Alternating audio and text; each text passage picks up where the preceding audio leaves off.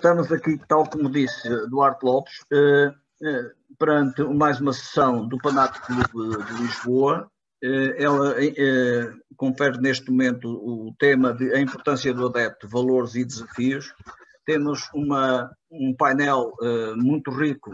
de experiência e vivências e intervenção nesta área, composto por Daniel Seabra, que é do Centro da Universidade Fernando Pessoa, eh,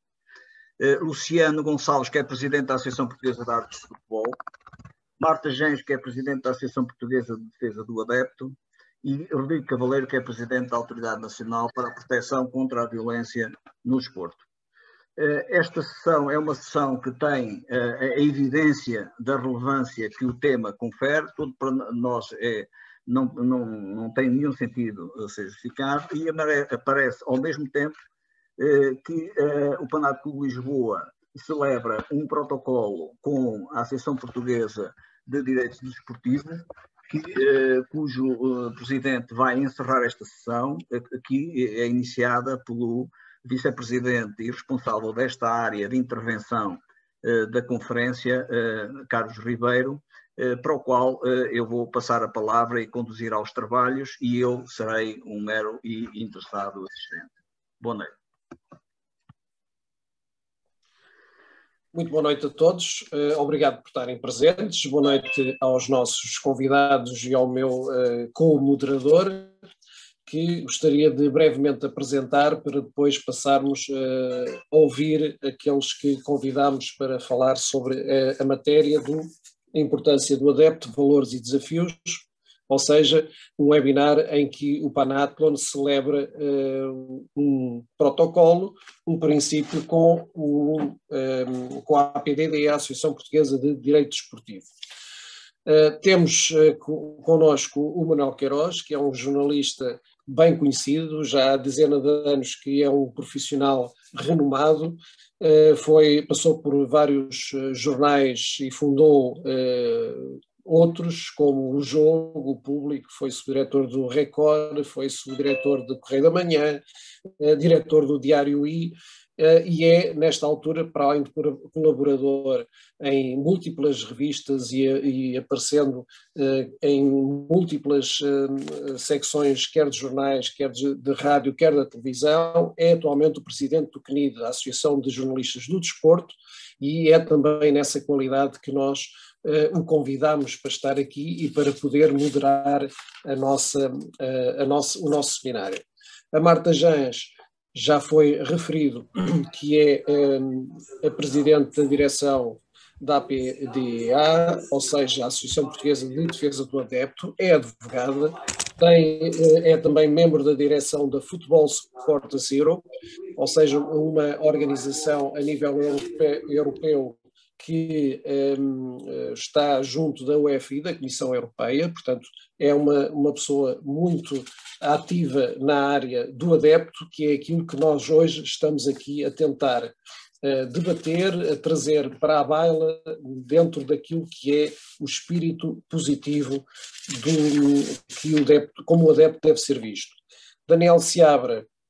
é professor, como foi dito já, na, na, Pessoa, na Universidade de Fernando Pessoa, é doutorado em Ciências Sociais pelo Instituto de Ciências Sociais da Universidade de Lisboa, tem múltiplas uh, comunicações em eventos nacionais e internacionais e é uh, muito conhecido pela forma como tem estudado um, questões um, dos adeptos, designadamente dos, dos ultragrupos, dos hooligans, relações eh, destes com um, com, uh, com o, o desporto, uh, bem como um, intervindo bastante na área da antropologia na, e da sociologia do desporto, bem como na sociologia do trabalho e organizações. É um homem uh, conhecido, como disse, nesta, nesta área e que teremos muito gosto em, em ver desenvolver aquela parte positiva que o, o, o adepto terá.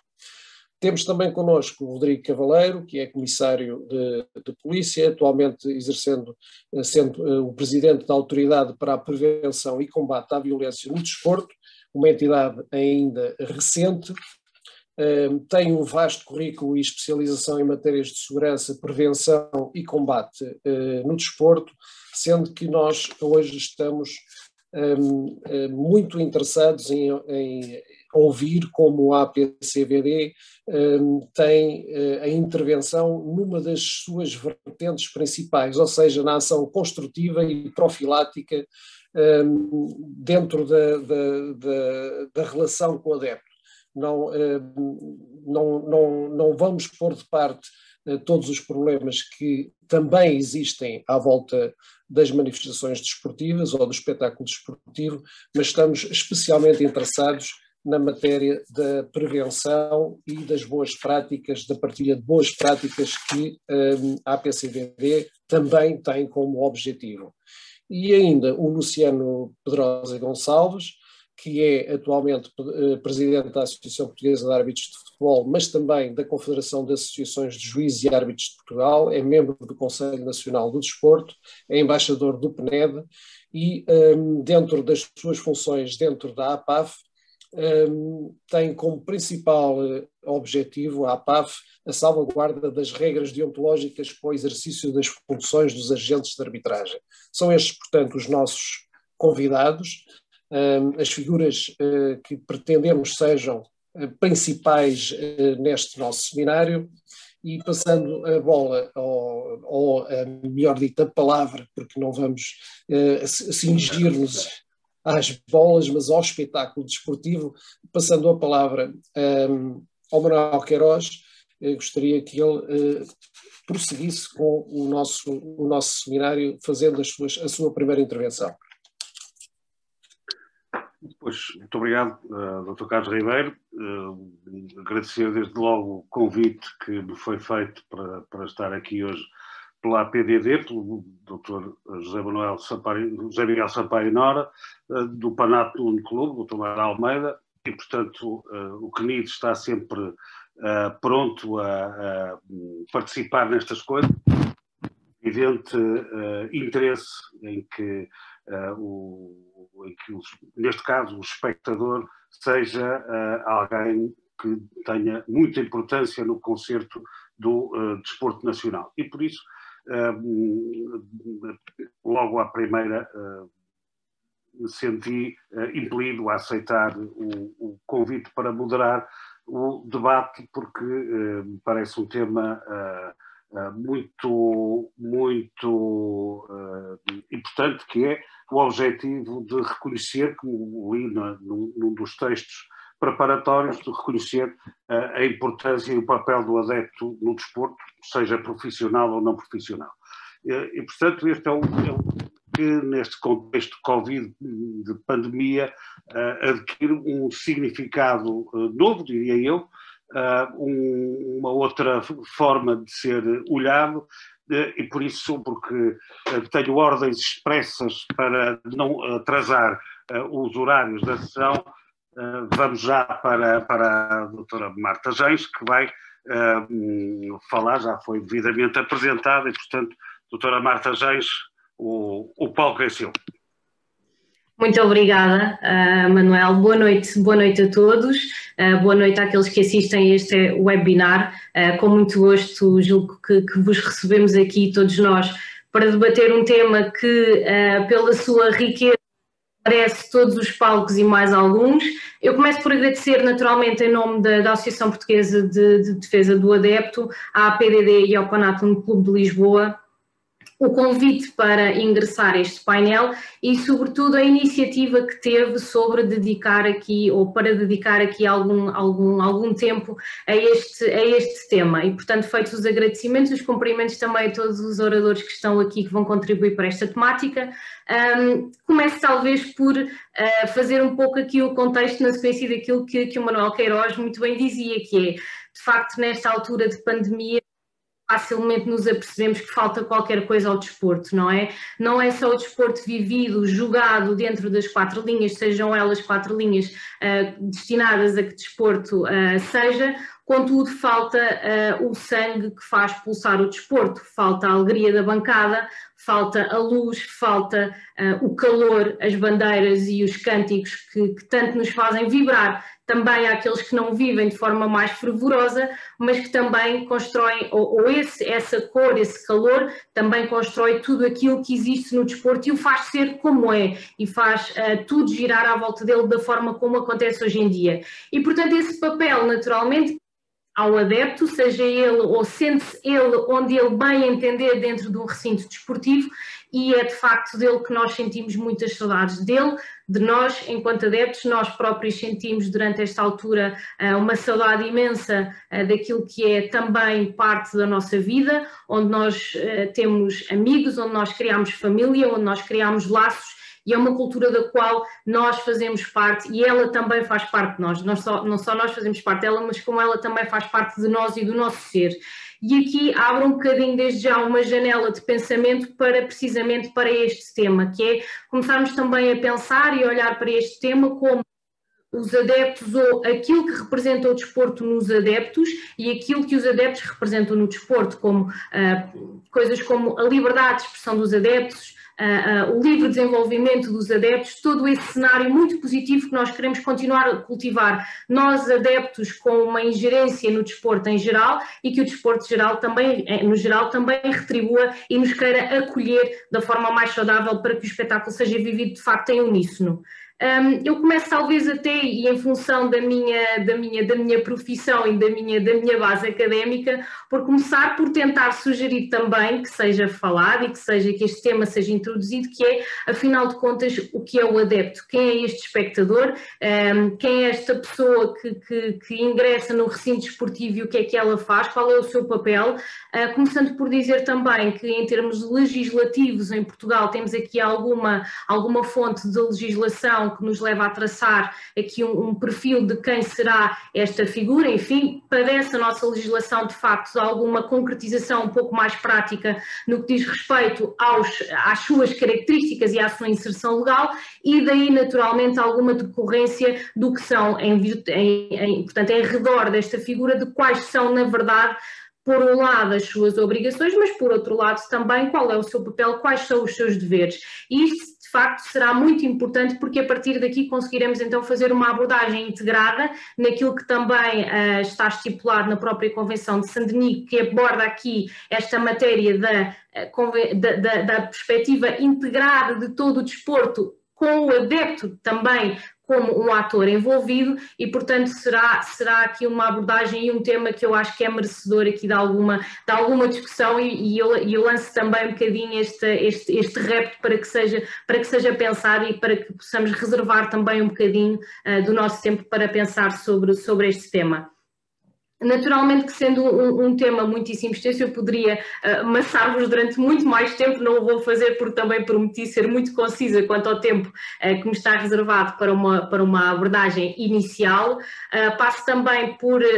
por dar aqui um pouco de atenção também àquilo que costuma ser um foco que são os grupos organizados de adeptos e, e, e enfim, e toda, toda um, toda a sua envolvência. Na verdade, aquilo que nós também conhecemos e esta figura que nós queremos uh, fazer parte do desporto, tal e qual como outro ator, uh, eh, enfim, do palco desportivo, uh, tem uma característica ou tem uma classificação relativamente um bocadinho mais específica relativamente àquilo que nós conhecemos como os grupos organizados de adeptos, que na sua vertente mais pura e mais positiva são efetivamente aquele grupo de pessoas que faz independentemente de estar a chover, de estar sol, de estar eh, a trovejar e de estar que ninguém querer sair de casa para ir até ao recinto desportivo, que não quando está sempre um grupo uh, de pessoas que fazem dali também a sua vida uh, e dedicam muito do seu tempo às pensas próprias e, portanto, também merecem esta consideração legal e especial, sempre num sentido muito positivo e de acolhimento. Daí, naturalmente, que, um, que, surgem aqui algumas propostas e algumas visões que a própria associação também tem abordado, não só para os adeptos, eh, genericamente falando, portanto, 100% daqueles que compõem o recinto desportivo na bancada, seja ela qual for, como eu dizia há pouco, mas mais especificamente também uh, neste nicho um pouco mais, mais restrito, que são os grupos organizados de adeptos. Apesar de terem uma configuração legal uh, no regime jurídico que combate à, à violência no desporto e outros comportamentos comportamentos antidesportivos, a verdade é que também merecem sim essa abordagem mais positiva e não, não tão só de, tendencialmente inserida num contexto de prevenção a comportamentos antidesportivos. Algumas das propostas e alguns dos temas que eu sugiro também que possam ser, que possam ser pensados e que mais uma vez eu lanço o repto para que possam ser vistos de uma perspectiva uh, integrada complementar e multidisciplinar, são precisamente aqueles, as propostas que nós, eh, enquanto associação, eh, fazemos numa ótica de eh, mitigar os problemas perante todas as instituições envolvidas no desporto, apresentando propostas para que lancem essa, essa, esse, esse repto também aos próprios adeptos para que eles correspondam sentido caminho que circula nas duas faixas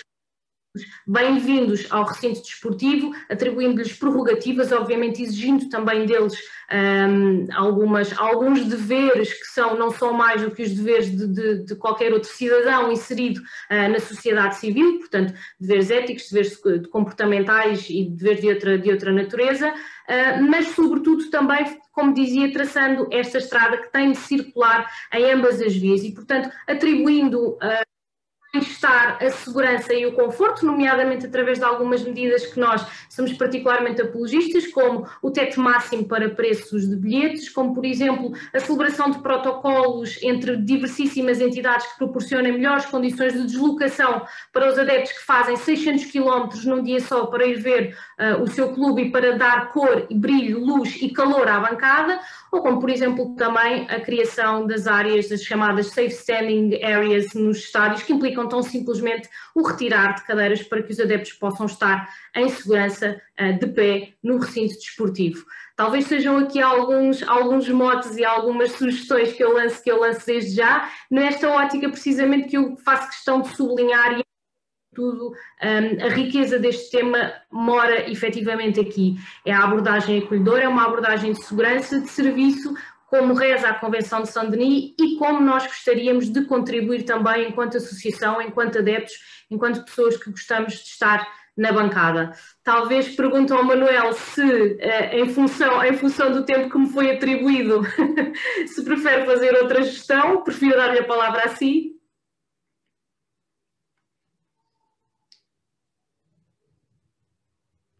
O Manuel acho que tem o microfone desligado, senão tenho sim, tenho sim, senhor. Tinha sim, Acho que é a frase de 2020, não é? Tem o microfone desligado, já estamos habituados a isso.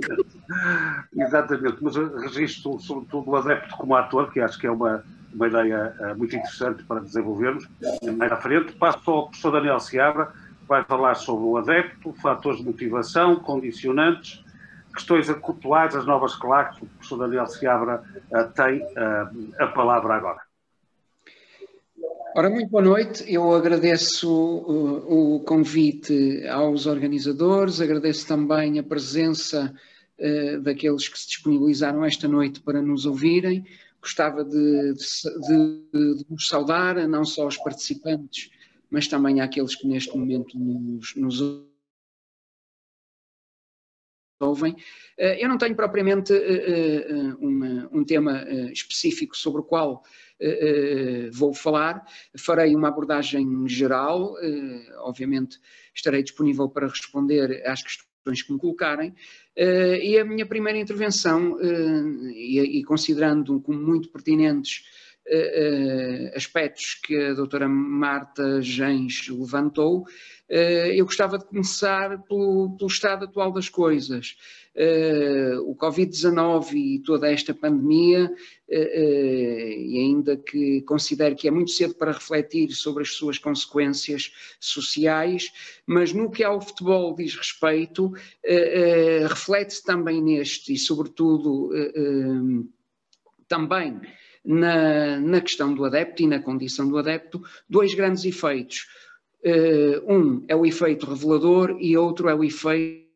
amplificador. Primeiro, eh, esta pandemia, e no que ao adepto diz respeito, eh, gerou uma clara percepção de quão importante é eh, a presença dos, dos, adeptos nos recintos desportivos, seja no futebol, seja no handball, seja no basquete ou noutras modalidades que não têm, eh, do ponto de vista mediático, a mesma força eh, que tem o futebol. Isso é profundamente revelador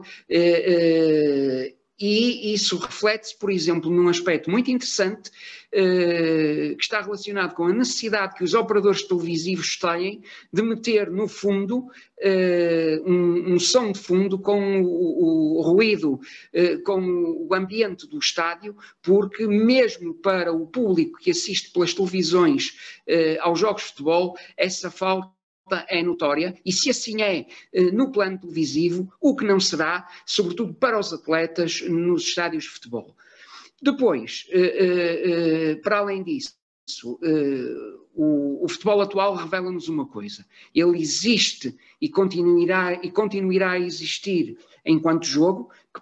pela sua simplicidade estrutural, pode ser jogado em qualquer contexto, numa escola, num pátio, numa rua, enquanto jogo, enquanto universal eh, da cultura humana, o futebol reúne eh, na FIFA mais países do que a ONU e, portanto, enquanto, eh, enquanto universal cultural, enquanto jogo, ele existe, mas esta pandemia mostrou que o futebol, enquanto espetáculo, pro, enquanto profissão para os seus atletas, enquanto fenómeno que tem uma vertente económica, comercial eh, eh, eh, muito, muito relevante, ele só subsiste com adeptos. Ou seja, ele só subsiste se houver procura. Não havendo adeptos nos estádios e no dia em que o interesse pelo futebol por parte dos adeptos diminuir, bem sabemos que isso é de toda em toda improvável, ainda que, em alguns contextos, muito se tenha feito para prejudicar eh, eh, a adesão dos adeptos ao espetáculo desportivo, eh, esta pandemia veio, pelo menos, revelar que sem adeptos este, este, futebol profissional, industrial, comercial, em torno do qual gravitam diversos interesses adjacentes de empresas uh, e, de, e, de, e, de, múltiplas dimensões económicas. Não é por acaso que João Avalanche, uh, em determinada altura, disse que, direta ou indiretamente, uh, dependiam do futebol cerca de um quarto, salvo erro, ou um quinto da população mundial. Ou seja, o futebol dá, é um fenómeno económico que, que atinge milhões de pessoas no dia em que não houver procura para o espetáculo desportivo, eh, eh, o futebol, eh, na configuração comercial e espetacular que existe agora, poderá não subsistir, ou, ou mesmo que subsista, certamente terá, um, terá uma redução de escala absolutamente, absolutamente flagrante. E, portanto, esta, esta pandemia, a meu ver, revelou e ampliou a importância que o adepto tem para, para, para o, o futebol e, e, para o desporto enquanto, uh, em, enquanto espetáculo. E, e, é preciso que se sublinhe que ele existe assim porque, uh, porque institucionalizou-se que assim fosse desta forma, precisamente para que os adeptos pudessem pudessem projetar a sua participação através da identificação com os clubes, porque todos nós sabemos que aquilo que leva as pessoas aos estádios é a identificação com os clubes. Bem sei que em qual, qualquer pessoa que goste de futebol pode assistir a, a, um jogo qualquer, mas todos nós sabemos, não é preciso eh,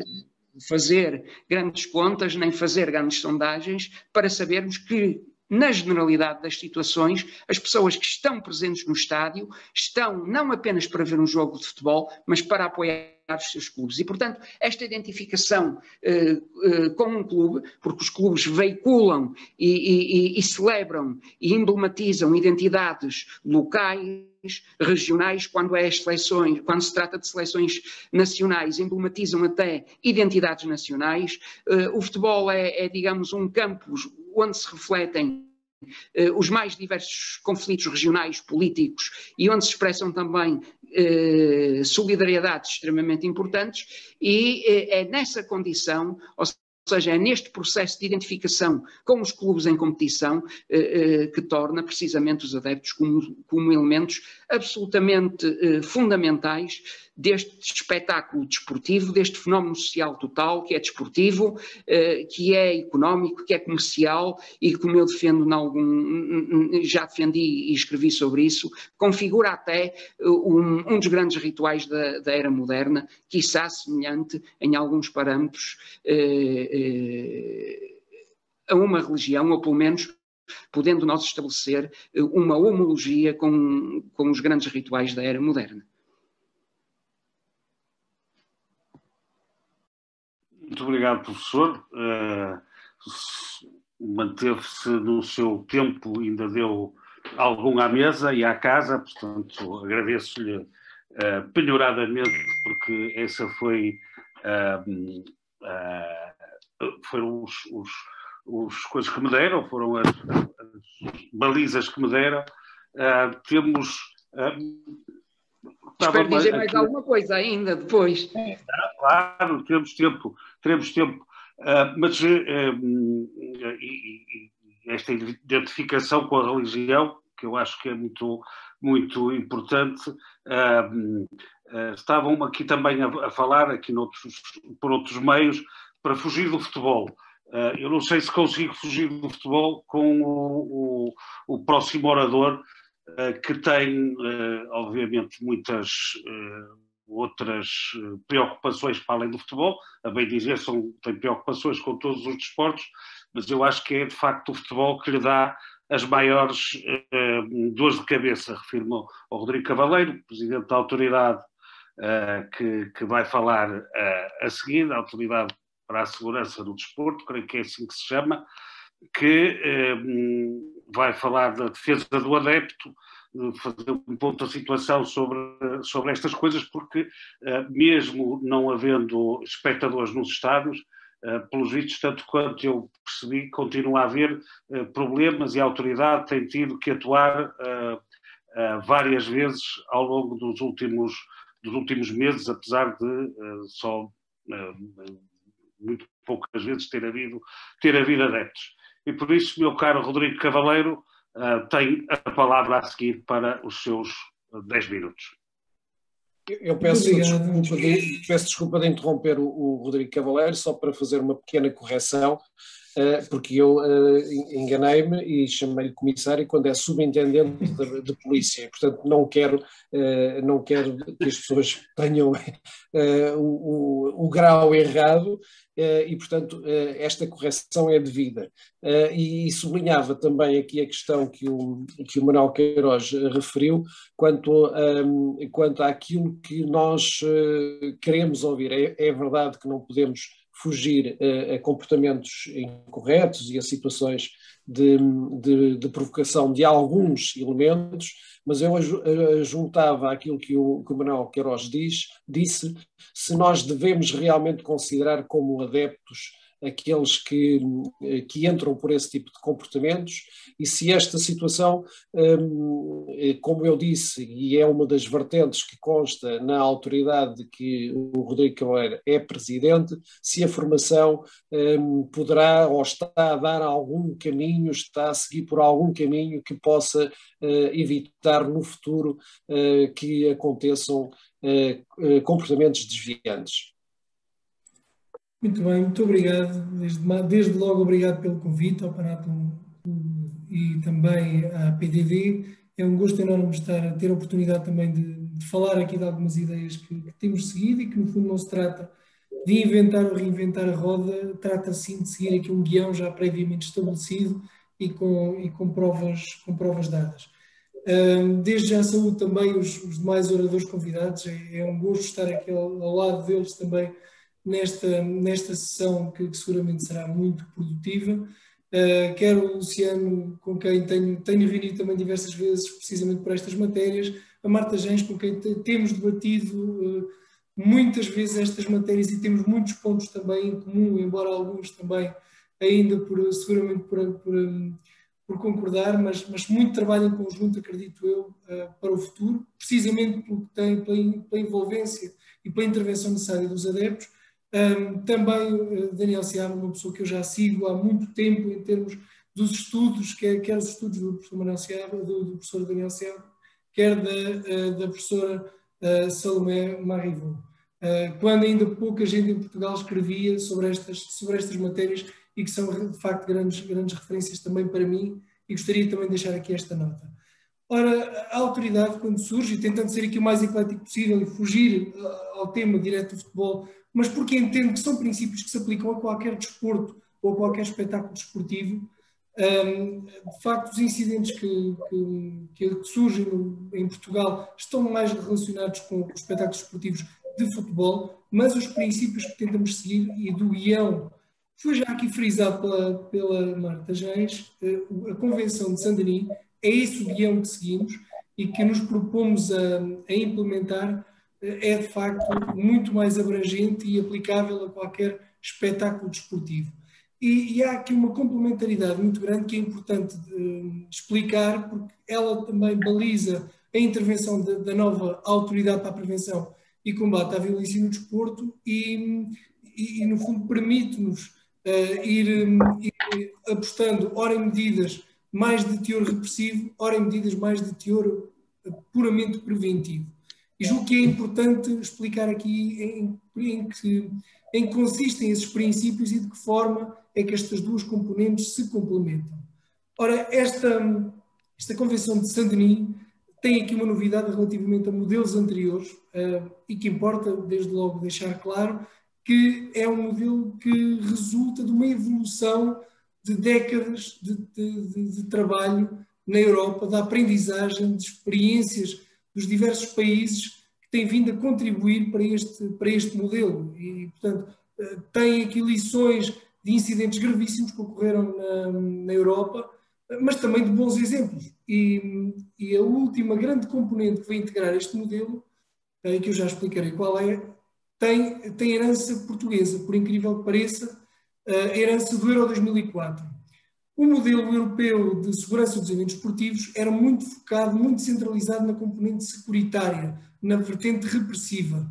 Depois, com alguns incidentes mais ligados às questões da, da proteção, mais aqui no âmbito de proteção civil, quase diria, no safety, o chamado safety, um, incidentes como Bradford City, Hillsborough levaram a que a perspectiva safety fosse também um, entendida como essencial, ou seja, ok, temos que, temos que olhar para a perspectiva securitária, para a violência, para os agentes dessa violência, mas não podemos deixar de perder o foco que o nosso principal objetivo é proteger vidas e proteger a integridade física dos adeptos, proteger todos, todos os adeptos, independentemente de, de quem participe nos espetáculos uh, desportivos.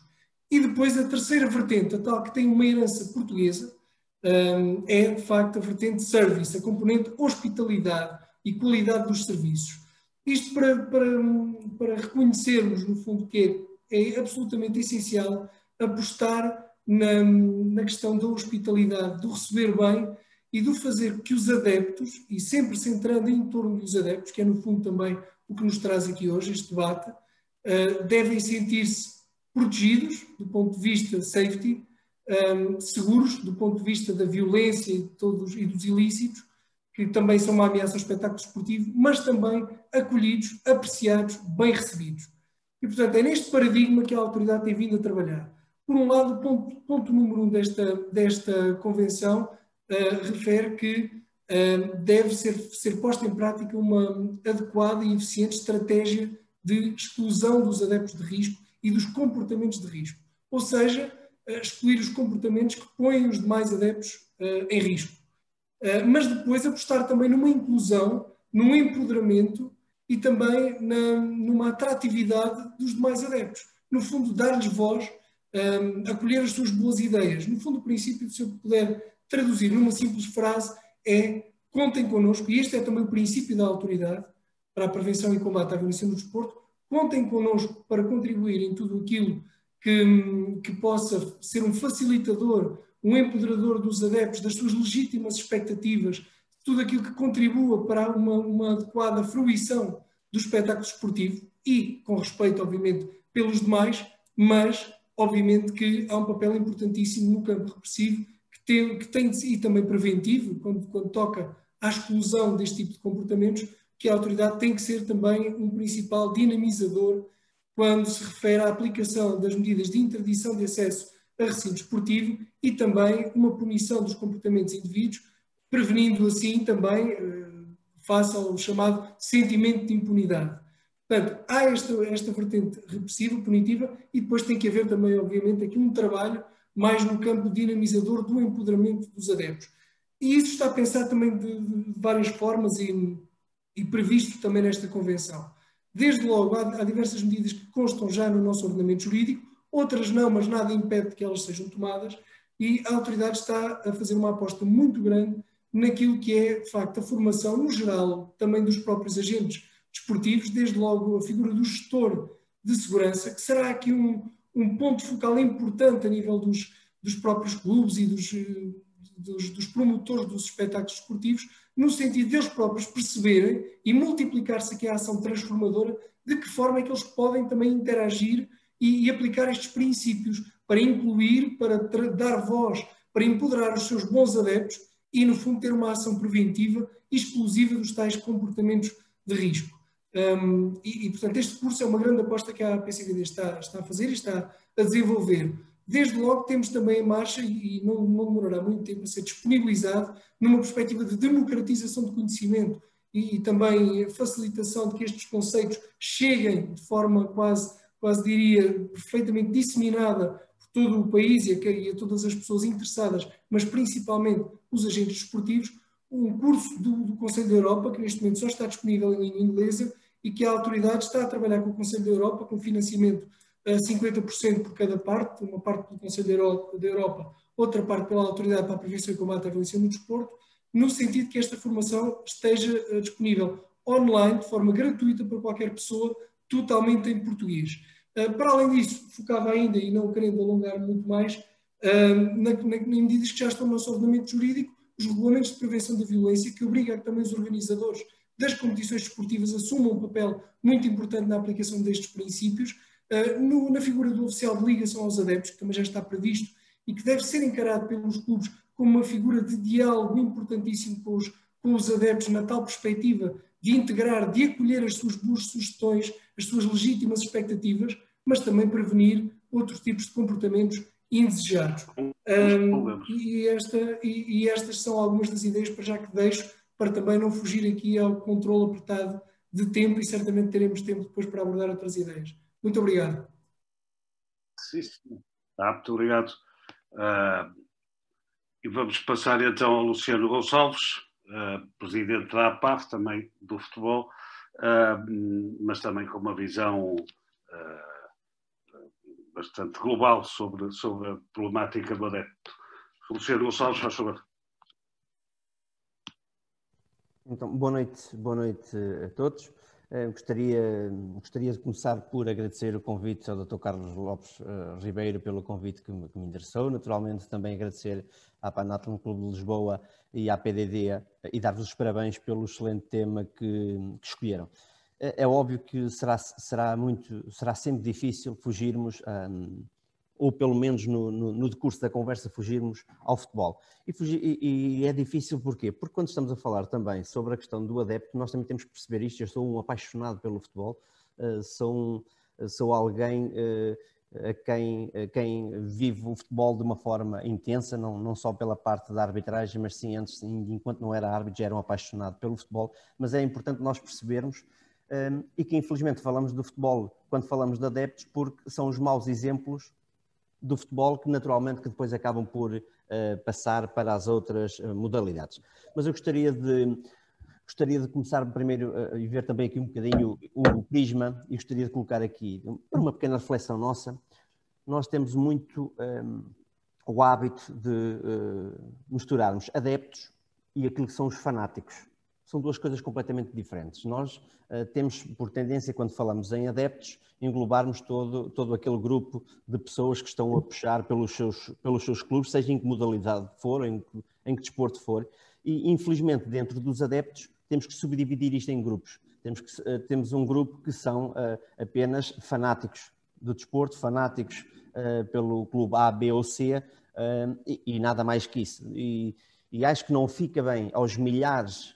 para, para dizermos milhões de adeptos que se comportam uh, de uma forma organizada, de uma, de uma forma civilizada, estarmos uh, a considerar que uh, essas, essas pessoas a quem eu chamo fanáticos façam parte daquilo que nós consideramos adeptos. Porque os adeptos, ninguém tenha dúvidas disso, são, uma, são a força vital do, do desporto são os adeptos que são a identidade dos clubes. Basta nós fazermos um bocadinho este exercício. Os presidentes dos clubes entram e saem, os proprietários dos clubes entram e saem, os treinadores entram e saem, os jogadores entram e saem e os adeptos dos clubes, por norma, ah, dificilmente mudam ah, de, de clube ou da sua paixão. Até, até já o meu pai, o meu falecido pai, que Deus tem, dizia que é mais fácil mudarmos de trocarmos de, de, mulher, de partidos políticos, de religião, do que se mudar de clube. Portanto, isto apenas para, para falarmos um bocadinho daquilo que é a força do verdadeiro adepto, do verdadeiro adepto. Um, e, e, basta nós também percebermos que nesta fase que estamos estado a passar nos últimos tempos, uh, o desporto não tem sido, não tem sido de, forma nenhuma igual sem, um, sem os adeptos. E como estava a dizer, acho que é importante nós fazermos esta reflexão de distinção entre o fanatismo e os adeptos, conseguirmos perceber também, e é importante percebermos isto, as posturas, do, a postura do adepto vai, vai, muda mediante aquilo, a competição que estejamos a, a, falar, a envolvência que estejamos a falar, um, a nível de escalão etário também, tudo isto é diferença. Também é importante percebermos e não misturarmos duas diferenças, aquilo que são os adeptos eu tenho esta filosofia que, quando se fala em adeptos, nós podemos, falar, podemos subdividir os adeptos de, várias formas. Ah, nós temos aquilo que são os adeptos ocasionais, que são o pai que está a acompanhar o, o filho no, ah, não, não, não, não, pelo clube, não pela paixão do clube, mas sim porque está a acompanhar o filho, o filho naquilo que são os escalões de formação. Este ano é do, é do clube A, para o ano é do clube B. E o comportamento que ele, que ele acaba por ter eh, algumas das vezes até infeliz, não tem a ver com, com a paixão pelo clube eh, ou paixão pela modalidade, mas sim o fanatismo que tem na, na, no acompanhamento do, do seu filho, e seja no futebol, seja no basquete, seja no handball, seja no que for, é precisamente, eh, precisamente igual. Acho que é importante nós também fazermos sempre esta, sempre esta leitura sobre estas várias variantes. O adepto,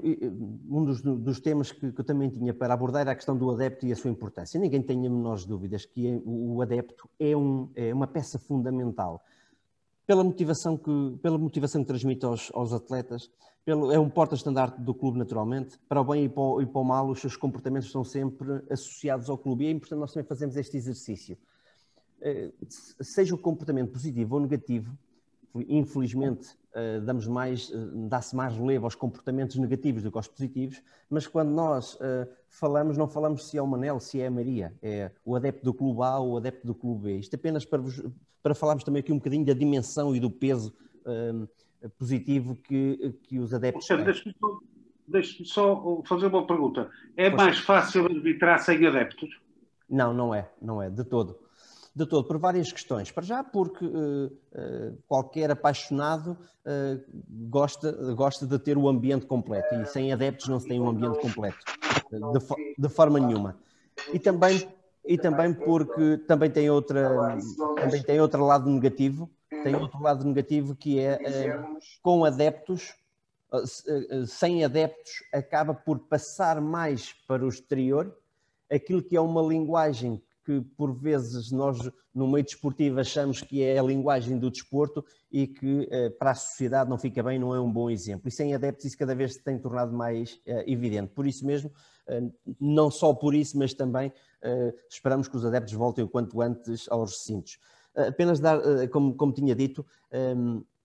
é importante nós conseguirmos fazer sempre a distinção adeptos fanáticos. E a forma de lidar com os adeptos não pode ser a mesma forma de lidar com os, com os fanáticos, não pode, de forma nenhuma. Nem os podemos considerar da mesma forma, eh, porque são maus exemplos, porque eh, estão a estragar aquilo que é a imagem dos adeptos e naturalmente estão a fazer outro problema muito mais grave, que é estão a afastar as novas, eh, estão a afastar novas gerações de, de adeptos. Hoje em dia, os, os jovens dificilmente querem ir, ao, querem ir ao futebol, ou ao handball ou ao basquetebol, porque não se sentem, principalmente se envolverem os clubes, clubes ditos grandes, sabem perfeitamente que existe ali um risco grande por alguns adeptos terem um comportamento incorreto. Associado a isto, o que é que o que é que fora, o que é que faz com que os adeptos ou alguns dos adeptos se transformem em fanáticos. Também é importante abordarmos isto e também falarmos um bocadinho sobre isto. Eu não me quero também alongar uh, muito mais naquilo que é o meu tempo de intervenção, mas acho que também é importante. Eh, nós, naturalmente, temos que ter noção que um, ehm, todos os comportamentos, sejam de dirigentes, seja comunicação social, seja redes sociais, seja tudo aquilo que, que anda, que gravita à volta do futebol uh, ou à volta do desporto, fora do campo, fora dos rings, fora de, de, de, dos cortes, fora, fora, de tudo, tudo aquilo que fale fora um, a competição, se for negativo, vai incendiar. E vai incendiar e vai provocar fúria uh, nos adeptos que de, deixam de ser adeptos e passam a ser fanáticos. Portanto, uh, acho que o importante aqui também é nós percebermos também um bocadinho isto, e aí sim, é muito culpa também do futebol, que uh, tem vindo ao longo dos últimos anos uh, incendiando um bocadinho aquilo que tem sido as outras, as outras modalidades de pavilhão, principalmente, onde se tem notado muito o aumento de, de, eh, de incidentes que têm existido. E depois, mesmo para terminar, apenas dar-vos aqui duas notas. Mesmo para tem terminar. Muito, é mesmo para terminar, tem muito, a, tem muito a ver com a questão da, daquilo que é a comunicação, da boa comunicação ou não. Eu, se vos disser aqui, posso-vos falar aqui em três ou quatro uh, bons exemplos e poucos de nós que aqui estamos ouvimos falar deles. Mas se eu vos falarem nos maus exemplos, vocês vão se recordar disso. E isso tem a ver com o impacto que também tem dado. Eu se vos falar que o almoço que a Mora deu, o Clube da Mora deu aos jogadores do Olhanense, ou que o Famalicão deu pães com chouriço a adeptos do Estoril, ou que os adeptos na Holanda atiraram 3 mil peluches, ou que o encontro de mascotes em Braga, eh, que, tem, que também teve um, foi muito interessante, o cartão branco atribuído várias vezes aos adeptos, ninguém sabe raramente se falou nisto, ou se falou foi uma coisa muito curta. Mas se vos falar na invasão Alcochete, Guimarães, uh, Marselha, aí todos nós se vamos uh, lembrar. Bonecos pendurados pela, pela, pela cabeça, petardos, vandalização, isso todos se lembramos. Portanto, acho que é importante nós também percebemos, e peço desculpa se me alonguei um pouco. da comunicação. Obrigado, Luciano Gonçalves. Eu, e agora dar início a uma segunda ronda mais rápida, voltava então à Marta Gens, doutora Marta Gens, eh, falou-se aqui nos adeptos e nos adeptos fanáticos, que são coisas diferentes. Aqui no chat alguém falou em bandoleiros, uh, naquilo que são os, os, os, adeptos que estão numa, nas, nos chamados Goa. Um, uh, uh, mas pronto, estamos a falar sempre de futebol. Esta, esta dicotomia, digamos assim, também existe noutras, das outras modalidades a Associação para a Defesa do Adepto eh, tem, eh, também, também eh, segue estas as outras modalidades e, e, e, tem conhecimento do que se passa ou nem por isso?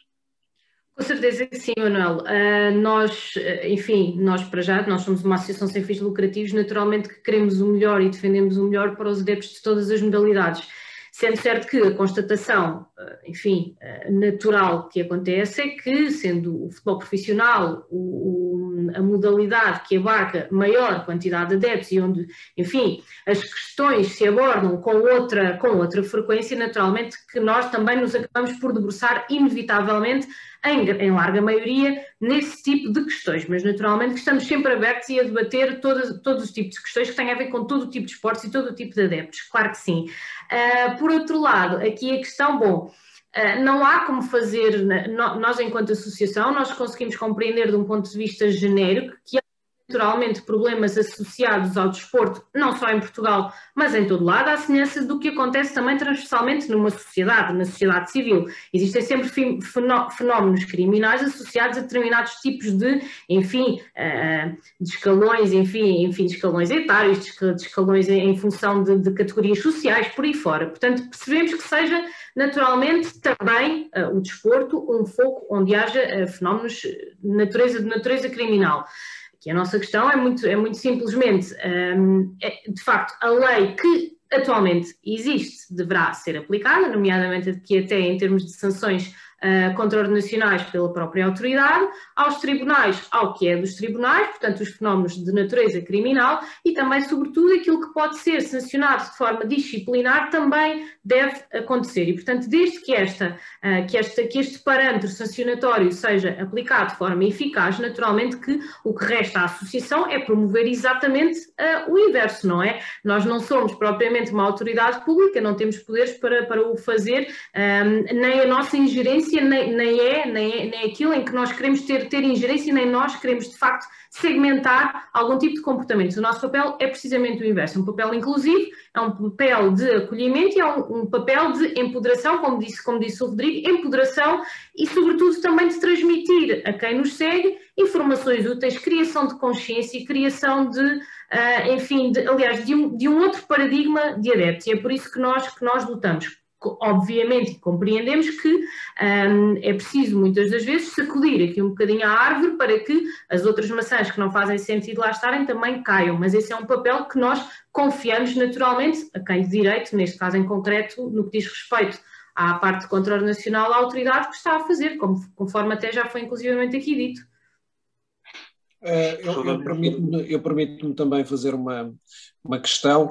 Um, nós, eh, é mais fácil perceber a atividade concreta de uma entidade como a, como a Autoridade contra a Violência. Na, APD, na APDA, quais são os Uh, em que termos concretos o que é que a APDA consegue fazer, portanto, não quer dizer que não tenha vontade de fazer muito mais, mas o que é que consegue fazer para que o adepto seja considerado como aquele elemento muito importante para o espetáculo que nós uh, unanimemente já aqui hoje verificamos que é.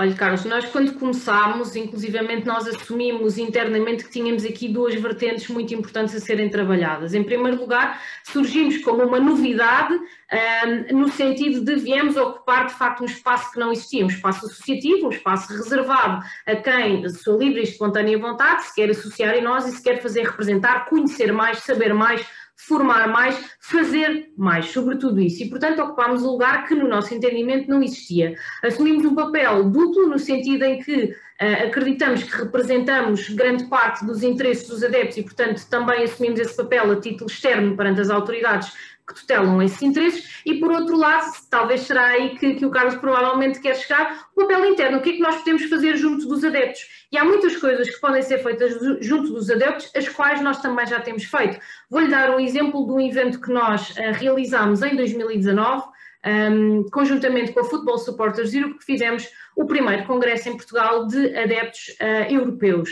Uh, enfim, o, nome diz adeptos europeus, mas a verdade é que nós tivemos uma afluência de adeptos desde os Estados Unidos ao Japão, à Austrália, à Turquia. Portanto, nós conseguimos reunir em três dias em Lisboa. O Daniel bem sabe que foi um dos convidados do nosso painel português e nós gostámos muito de ter lá e acho que o Daniel sentiu precisamente isto que eu aqui vou dizer, que é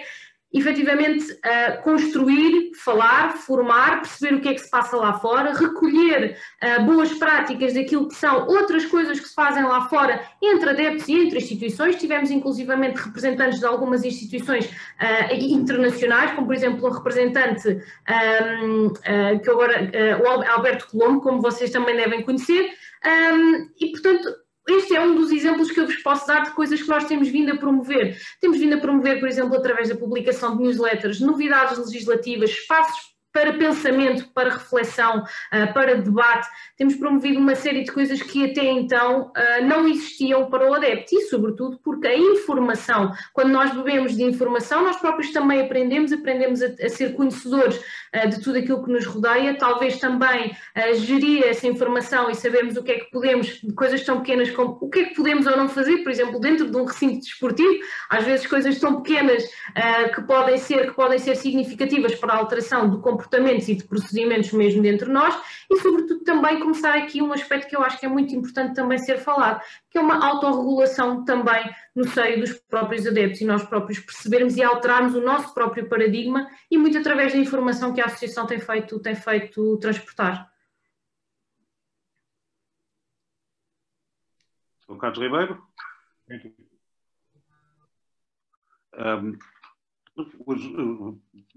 passar então ao professor Daniel Seabra também uh, um bocadinho neste, neste registro, a falta de adeptos. Uh, isto, isto, digamos, o regresso dos adeptos, vamos ter que ter algum, uh, algum uh, efeito especial, vamos ter que, que, que, fazer alguma coisa de especial no regresso dos adeptos ao, aos estádios e aos, e aos recintos desportivos em geral, uh, porque vai ser uma dieta muito grande e vai haver, acho eu, até em termos sociais, um problema que pode ser uh, de, de, de, dimensão, imagino eu, não sei, o professor uh, dirá, porque uh, de facto as pessoas, quando puderem ir, acho eu, vão, vão, querer mesmo ir. E se calhar não vão poder ir todas, se calhar não vão poder, não vão poder estar todas. Professor Daniel Seabra.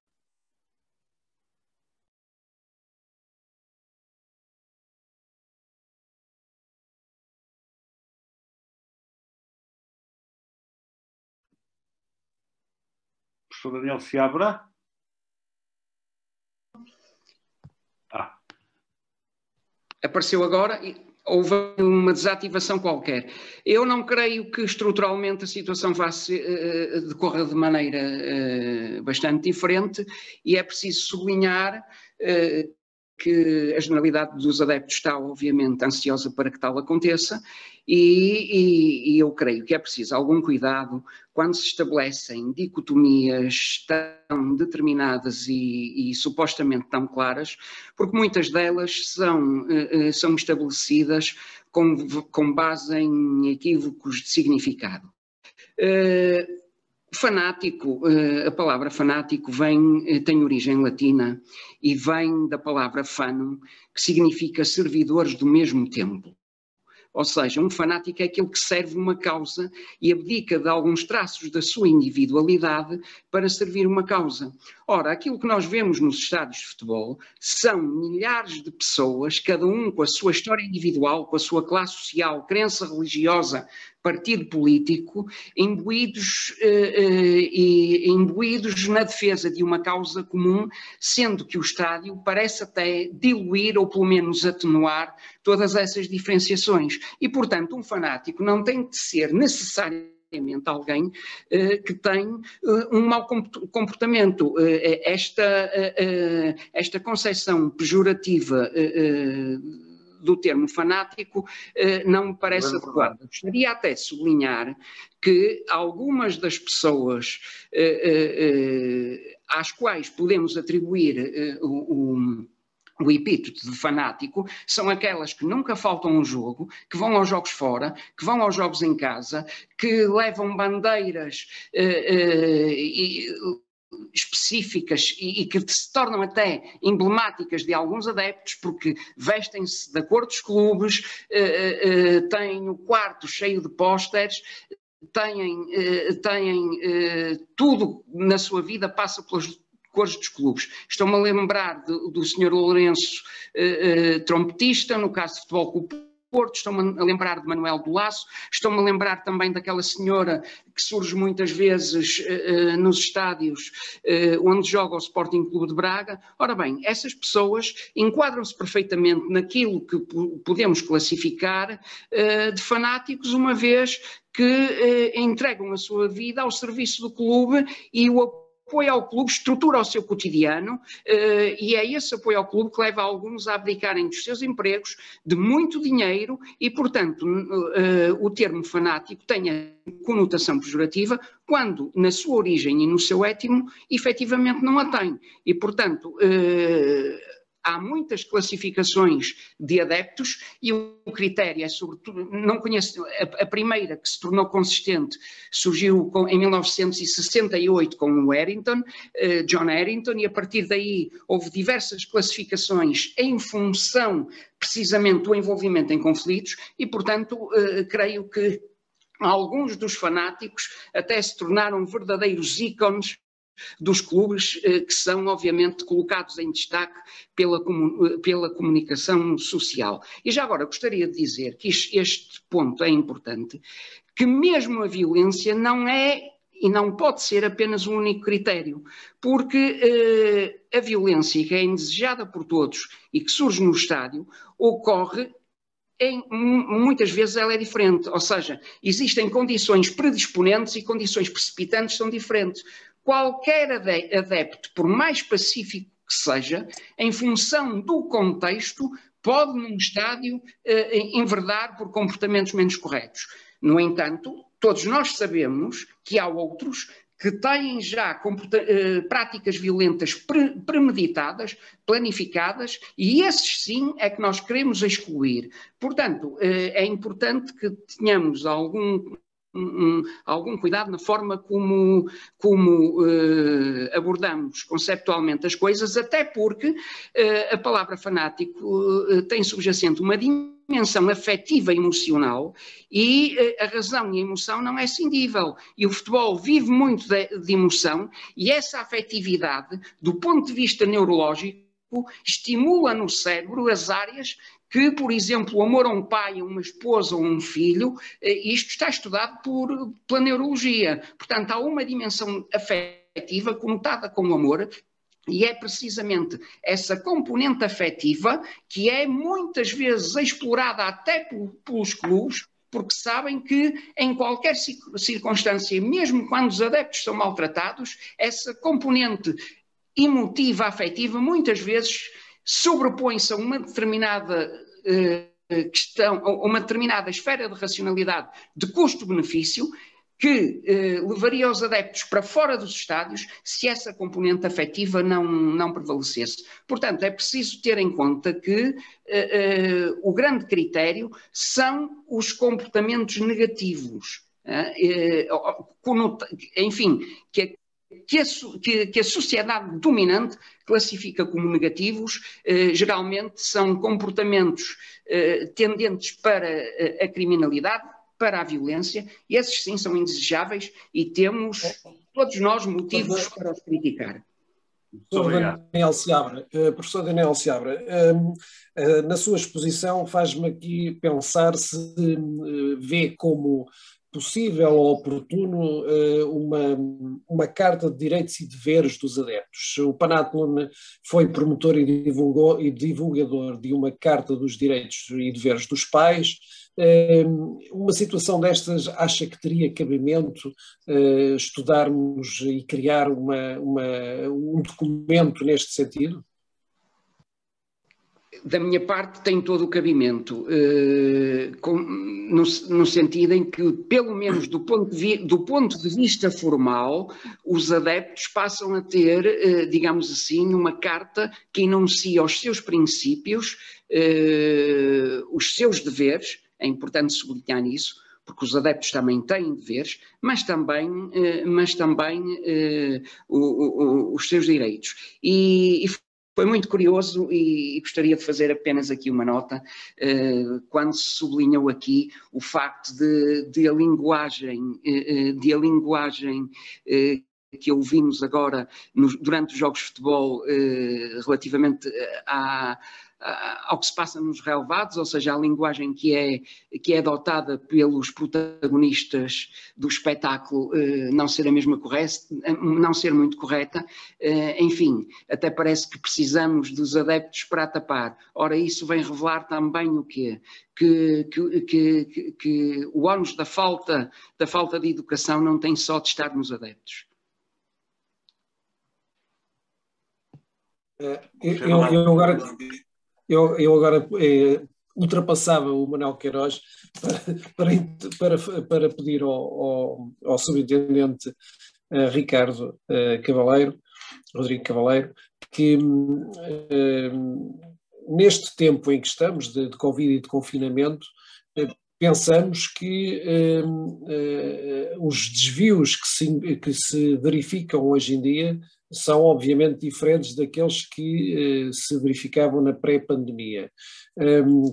Vê-se uh, uma intervenção de, de pessoas uh, a, a, fazer uma,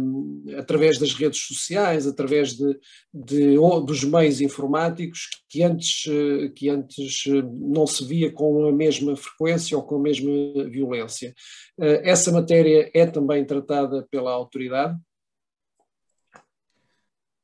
Bem, relativamente a isso, o que posso dizer é que de facto há uma redução muito grande de, de incidentes registados um, na esfera dos próprios espetáculos esportivos, ainda que continuam a existir situações nas imediações. Um, garantindo que esta separação de mandatos entre o que é criminal para tribunais e controle nacional para a Autoridade para a Prevenção e Combate à Violência no Desporto, e depois a vertente disciplinar, que pode atuar em sobreposição com, a, com as entidades estatais na esfera criminal e na esfera de controle nacional, pode e deve, diga-se, o que é certo é que temos tido ainda algumas situações nas imediações dos espetáculos esportivos que têm sido reportadas e, e, e, face às quais temos também feito intervenção. Dando um pouco resposta também àquilo que foram, que foram algumas, algumas das, das, das, informações que aqui foram dadas por, por alguns participantes que, que me antecederam na, na, sua participação, de facto eu diria que esses, esses números são públicos e, são por nós disponibilizados de forma pública, nós lançámos em outubro do ano passado, aliás em dezembro, fizemos uma apresentação ao Conselho Nacional de Desporto e tornámos eh, disponível para, todo, para, para o público em geral um relatório de análise da violência no desporto, a primeira edição deste relatório, que é um trabalho também de alguma análise que pretendemos dar a conhecer um, e ter uma sequência para que se possa fazer aqui uma, uma comparação de séries, um, coisa que até, que até agora não poderíamos fazer uh, com a mesma fiabilidade. E de facto 95%, de, pensando aqui apenas no trabalho da autoridade, focando-nos no trabalho sancionatório desta nova autoridade, cerca, nós temos neste momento cerca de 900 condenações efetivas, portanto, com aplicação de, de, de sanção, um, vamos imaginar, eh, por exemplo, a sanção de, de, aplicação de coima, que neste momento são coimas bastante elevadas, coimas na ordem dos 1000 euros, na ordem dos 750 euros, também um pouco por, por, por aquilo que foi eh, uma solução óbvia que o sistema legislativo, que, ou que as alterações legislativas viram na subida das sanções como uma forma dissuasora, ok, nada resulta, é preciso aumentar as coimas para, para ter um efeito dissuasor maior. E de facto neste momento temos valores de coimas que, é, que também é importante aqui destacar, são muitíssimo. Portanto, nós das 900, cerca de 900 sanções já com caráter definitivo, quando digo definitivo, digo já não há uh, direito a recurso, portanto já estão esgotadas as fases de recurso, um, estamos a falar de cerca de 95% é efetivamente no desporto futebol, na modalidade de futebol. Uh, e também esta percentagem aplica-se de forma muito semelhante àquilo que são as interdições de acesso a recinto esportivo, que só da parte da autoridade já chega neste momento a cerca de 260 das quais 170 entraram já em vigor. Portanto, são números completamente contrastantes com o passado. Obviamente que temos, temos recebido menos, menos situações, agora nos, desde o contexto de pandemia, e há uma deslocalização de alguns, de alguns fenómenos e de alguns comportamentos uh, para as redes sociais por serem de uma forma de participação ativa que os adeptos uh, sentem. Uh, nós, quer, quer a Autoridade para a Prevenção e Combate à Violência no Desporto, quer também o Ponto Nacional de Informações sobre o Desporto. Um, vamos, obviamente, fazendo um acompanhamento destas matérias, mas em termos sancionatórios, temos aqui uma limitação àquilo que é o mandato que nos é atribuído pelo regime jurídico de segurança um, dos espetáculos esportivos, limita, no fundo, a aplicação da lei aos, aos incidentes ocorridos no âmbito do espetáculo desportivo uh, ou que, de alguma forma, esteja relacionado com o espetáculo desportivo em particular. Portanto, há aqui muitas infrações e muitos, muitos eh, muitos destes incidentes, mesmo em, em, no campo virtual das redes sociais, que de facto caem fora do mandato desta, quer desta autoridade, desta autoridade quer da Lei 39 de 2009, que é o regime jurídico para a segurança do desporto. Queria aproveitar ainda para referir também uh, que, relativamente à, à, obrigação que têm as entidades públicas de liderar, no fundo, essa ação face aos, aos comportamentos criminosos e violentos, um, ehm, como referiu a Marta, eh, compete às autoridades públicas abanar a árvore para que caiam essas tais maçãs, e, e, recorrendo aqui a esta metáfora, mas eu diria, e a Marta depois acabou por dar também resposta a isso, não compete só às autoridades públicas, há de facto um papel muito importante, como de facto referiu, de autorregulação, mas também, porque esse foi muito, durante muito tempo o discurso dos, dos clubes, dos promotores desportivos, dizer que isso era algo para as autoridades resolverem, há um papel muito importante tem que ser assumido com eles e é isso também eh, que se pretende, de alguma forma, eh, transformar. Ou seja, na prática, temos de ter o Estado, eh, as instituições públicas a liderar essa, essa luta que é de todos, de, de certa forma, expurgar esse tipo de comportamentos dos espetáculos esportivos, mas temos um papel importantíssimo, não só pelo exemplo, pela influência que têm os líderes destas estruturas desportivas, as lideranças dos clubes, Uh, e fazendo aqui com, a, com, as devidas diferenças, obviamente, mas o paralelismo com um caso muito recente que todos assistimos no, nos Estados Unidos do que é uma, um exercício de liderança completamente pirómano, uh, pode ter, ter aqui uma, um reflexo completamente pirómano no comportamento de massas, de multidões, como pode incendiar essas multidões. Ora, isto é algo que nós, infelizmente, também, e volto a vincar, com as devidas diferenças, sabemos interpretar e, e reconhecer também no espetáculo desportivo nacional. Portanto, tem que haver este sentido de responsabilidade, por um lado, dos comportamentos, dos exemplos dos líderes, das lideranças dos promotores desportivos, dos agentes desportivos, mas também todo o trabalho preventivo que devem ter junto dos seus adeptos, as medidas socioeducativas que a lei também prevê que têm que ser implementadas. E no fim da linha, se este, se este papel disciplinador dos clubes funcionar bem com os seus grupos de adeptos, também vai haver aqui, no fundo, uma influência para que estes grupos de adeptos façam a sua própria autorregulação, porque sentem também o que são todos os prejuízos que sofrem diretamente que resultem do seu, do seu mau comportamento. E se todo o sistema funcionasse em complementaridade desta forma, seguramente estávamos hoje num, num ponto de situação bastante melhor do que temos, mas eu tenho esperança que lá chegaremos. Muito obrigado. Temos que dar agora a palavra ainda ao Luciano Gonçalves, uh, um bocadinho se calhar uh, falando no meio disto e do, e do uh, daquilo que o adepto também pode significar para, para os árbitros, apesar de, de, de dizer que, que, é, que, não é mais fácil apitar sem adeptos, eu acho que em determinadas circunstâncias é, e, e, que, embora, enfim, as arbitragens no, no futebol, estamos a falar do futebol, tenham, estejam a ser muito contestadas este ano, curiosamente. Tem dois minutos, meu caro Luciano. Sim, vou ser muito rápido. Ehm, não, é deste ano, eh, sempre me recorda de todos os anos, quando chega a esta fase do campeonato, as coisas serem desta forma, basta nós fazermos um bocadinho esse exercício eh, e nós todos os anos passamos, por, passamos pelo mesmo, infelizmente. Apenas dar apenas também aqui uma nota que eu também acho que é, que é importante para mim, até para, para que perceba um bocadinho. Eu não sou muito de acordo que se trate de forma igual aquilo que só por si já é diferente. Eu, para mim, uh, um fanático, um, ehm, e, e, também é, é, um bocadinho o significado que, que, tem a palavra de fanatismo, é uma adesão cega uh, e inconsiderada, é um facciosismo. Portanto, o que eu quero dizer é que não podemos o Manel do Laço e outras grandes referências de adeptos que nós tivemos por esse, ou que temos em Portugal e por esse mundo fora, são apaixonados para na, naquilo que é a minha leitura, são pessoas que são apaixonados, são pessoas que conseguem uh, não ver, uh, não, não fazer aquilo de uma forma cega. Uh, e o que infelizmente, aquilo que eu estou a conotar com a questão dos fanáticos é aquelas, aquele grupo que infelizmente, e a gente vamos sabendo isso ao longo dos anos, que são sempre os mesmos, ou são sempre os mesmos grupos que vão tendo comportamentos que em nada em nada uh, beneficiam o desporto no, no, geral. Portanto, a única coisa que eu queria dizer em relação a isto é que devemos tratar de forma, uh, de forma diferente aquilo que, que, não é por natureza igual,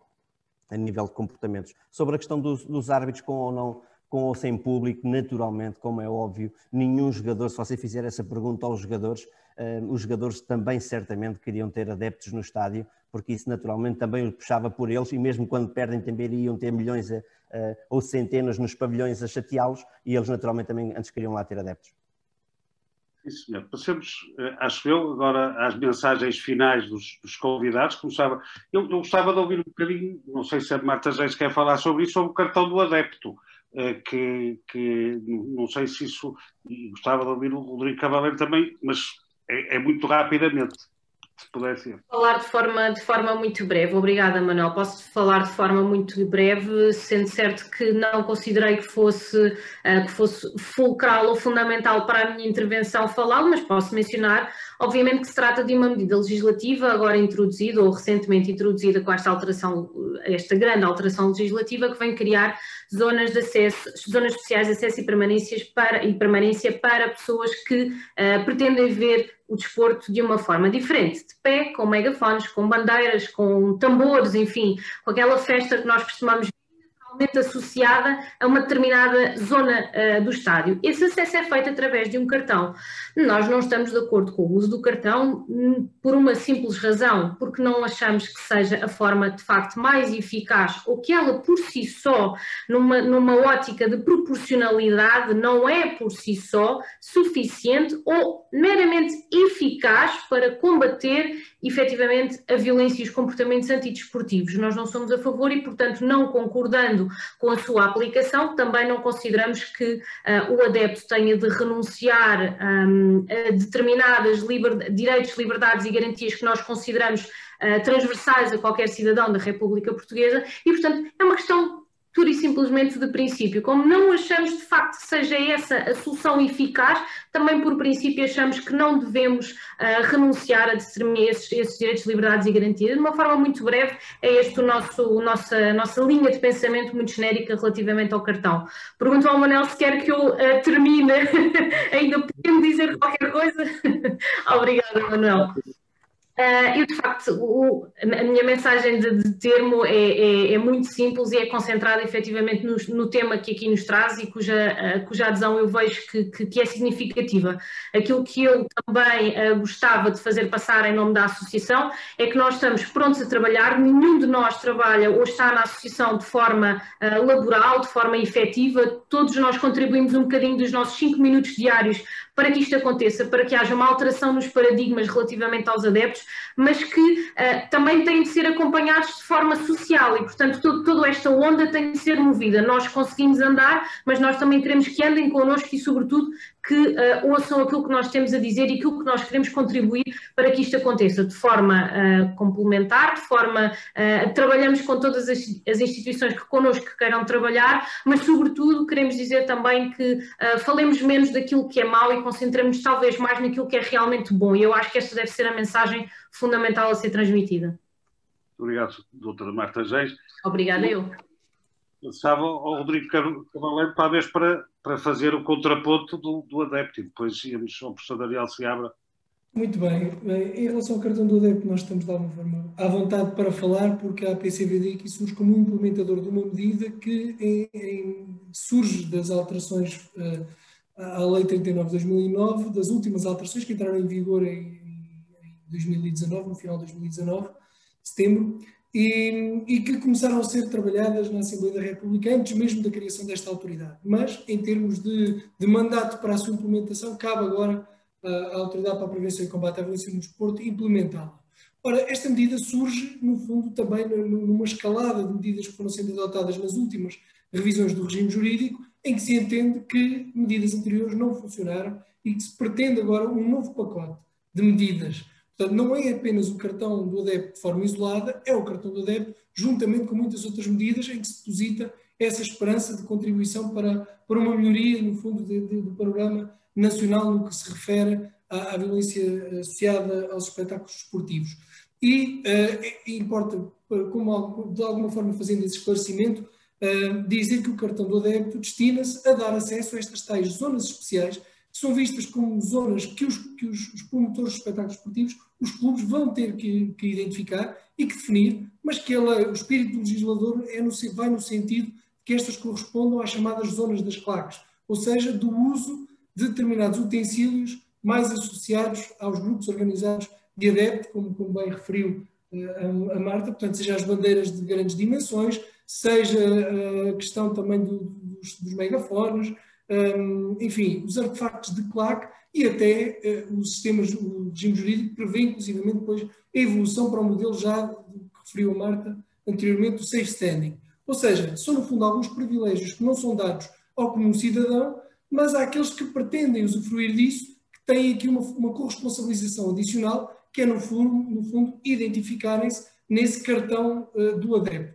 É um ato voluntário é, é um cartão que custa 20 euros para 3 anos, corresponde naquilo que foi a, a, escolha deste valor exatamente aos seus custos de produção de todo o sistema que está por trás e que, de forma muito sucinta, digo que tem aqui duas vantagens, desde logo, para não estar aqui a entrar em, grandes, em grandes divagações, que é a questão de ligação àquilo que é a base de dados de interdições de acesso a recintos esportivos, tais banning orders, e que quer no ato de tirar um cartão, quer no ato de comprar o bilhete, quer no ato de utilizar o cartão para entrar nessa zona especial, há um vetting, há uma verificação sobre se existe uma medida de interdição eh, pendente e caso essa medida esteja ativa, o adepto não pode entrar. Uh, portanto, obriga, obviamente, ou a ir para outra zona, ou não tem bilhete, não ir sequer ao recinto uh, desportivo. No segundo aspecto, temos estado a trabalhar também em conjunto com a Liga Portugal para que seja algo também bastante fácil de utilizar e que tenha uma ligação à bilhética eletrónica. Aliás, a venda de bilhetes para estes setores tem que ser uma venda eletrónica de bilhete, o que faz com que o cartão fique associado a, essa, a esse bilhete eletrónico e que seja uma forma de combater aquilo que é também o mercado paralelo de bilhetes, de venda de bilhetes. Muito obrigado. Muito obrigado. Professor Daniel Seabra, tem um minuto para mostrar o que vale. Ora, em um minuto é, é muito, é muito curto, uh, claro. Uh, há aspectos da lei e, e, primeiro gostaria de saudar rapidamente uh, algumas das medidas da, da, da, Autoridade para a Prevenção e Combate da Violência do Desporto, como sendo a divulgação pública dos números, algo que eu tenho vindo a solicitar há muito tempo e, e em muitos aspectos continuo sem poder poder investigar porque uh, as forças de segurança não disponibilizam os números que eu sei que têm, finalmente há transparência nesse ponto e finalmente parece que há consequências e as medidas sancionatórias estão a acontecer. Relativamente ao, uh, ao cartão do adepto, como disse o senhor subintendente, surge, surge numa escalada de medidas, pois o problema é esse, é que muitas vezes nós tomamos um medicamento e ele tem efeitos secundários. Nós queixamos dos efeitos secundários e se formos ao médico e ele diz, agora em vez de um, toma dois, nós vamos ter mais efeitos secundários. O problema é que a questão, a dita legalização das claques, que eu nem sequer concordo, concordo com o termo, eh, a constituição das claques eh, como associação e o cartão do adepto tem, tem muito mais custos que benefícios. Para mim, é uma medida que, para além de ser discriminatória, eh, é uma medida que tem efeitos perversos diversos, eh, nomeadamente no, no, crescimento dos grupos casual, eh, que estão, que estão a crescer, e eu já em 2009 eh, publicava publicava textos em que dizia, atenção, uh, esta suposta legalização gera efeitos perversos e agora insiste numa medida ainda mais perversa, ainda mais perversa que mascara, a meu ver, a meu ver outras intenções. Não tenho tempo de justificar e, e, e demonstrar a minha tese em um minuto, obviamente. Obrigado, professor. Mas discordo em absoluto do cartão do adepto. Concordo com algumas medidas da lei, são várias, mas com o cartão do adepto discordo em absoluto. Sobre o cartão do adepto, uh, o Sr. Gonçalves ainda quer dizer mais alguma coisa? Não, apenas para. Um minuto, meu amigo só. Apenas para terminar e para estar de acordo com, com o que disse a colega Marta Gens, em que nós nos devemos a focar cada vez mais e valorizarmos mais as coisas positivas uh, que o desporto tem e que são tantas e valorizarmos cada vez menos, a, cada vez menos as más, porque essas são, são diminutas. Isso também concordo. Concordamos todos. Carlos Ribeiro quer fazer o, o, o, é, o que é que ele faça? Como é que quer? Você, como jornalista, que está habituado a estas coisas, faça o favor. Posso dar eh, já aqui uma nota que esta questão do cartão do adepto é muito, é muito uh, debatida, por um lado. Gostei muito de ouvir uh, a receptividade quanto ao cartão ehm, dos direitos e deveres, à Carta dos Direitos e Deveres do adepto. Talvez seja uma coisa em que estas associações todas que, estão, que estiveram hoje um, possam vir a trabalhar em conjunto. Acho uma ideia interessante. E quanto ao resto, passava a palavra então ao Manuel. Sim, só para uh, também fazer uma, uma rápida uh, passagem pelos temas. Uh, acho que estamos todos de acordo que o adepto é de facto central do, do desporto. Não há quase desporto sem adepto, claro que não há uh, desporto, sobretudo sem praticantes, mas o adepto, sobretudo nas, nas nas eh, questões mais eh, profissionais é absolutamente necessário. Essa diferença entre adepto fanático e não fanático tem que se diga, como o Daniel Seabra, eu que tinha um tio uh, padre que era um verdadeiro adepto fanático, embora não violento, percebo muito bem aquilo que, que, que o professor Daniel Seabra, a distinção que impôs entre, entre uma coisa e outra. Uh, acho que vale a pena, se calhar, fazer um dia destes uma coisa sobre o cartão de adepto. Uh, e acho que, que, temos que continuar a estudar aquilo que é a relação dos árbitros também com, com a sua envolvência, como é que os árbitros uh, podem melhorar essa relação com os adeptos, porque eu acho que é muito importante, os árbitros devem ser também alguém que, que os adeptos devem não digo respeitar, mas pelo menos conhecer e perceber que, que, que, estão numa, numa missão que deve ser, uh, que deve ser respeitada, como é evidente, uh, e acho que isto são as, uh, as a parte do, da, da, autoridade perceber que há uma, uma ideia de fazer cumprir a lei e de aparentemente as coisas, apesar de termos pouco tempo para isso, perceber que, que as coisas estão a correr da melhor forma. E, portanto, segue agora um, acho que estes são os pontos fundamentais uh, e, e, e, agora uh, quem é que tem que fechar é o uh, Dr. José Miguel. Penso que sim. É, Dr. José Miguel. Eu sei, incorreto, eu sei que ser incorreto no que respeita à interrupção. Eu não queria deixar de mostrar aqui rapidamente no ecrã, se me permitem, eh, eh, de facto um documento que existe de maior relevo que eu, que eu reconheço à Associação Portuguesa de Defesa do Adepto, que esperava que a doutora Marta Gens nos falasse sobre ele, mas que não teve esse tempo, que é a Carta dos Direitos e Deveres do Adepto, está plasmada no portal da APDA e que pela primeira vez eh, eu vejo de uma maneira consistente e estruturada aquilo que são aqui individualizados os direitos dos adeptos, mas também de uma forma equilibrada e com o mesmo peso dos deveres. Portanto, eu recomendo a vossa a vossa consulta ao portal da APDA, porque este documento tem muito valor para nortear os nossos raciocínios. Peço desculpa. Oh, oh eu, eu agradeço-lhe imenso, mas de facto este tema é tão amplo que às vezes há determinadas coisas que acabam por ficar, ficar pelo caminho e eu agradeço a chamada de atenção. Muito bem, obrigado. Então,